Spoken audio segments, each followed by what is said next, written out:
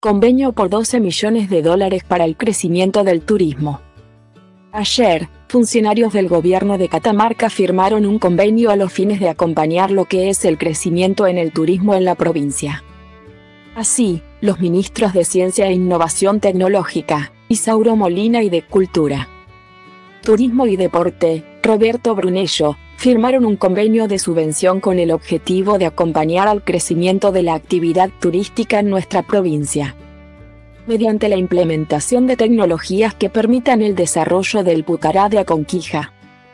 Dicha rúbrica radica en el proyecto de aplicación de tecnologías digitales 3D para la puesta en valor turístico del sitio El Pucará de Aconquija.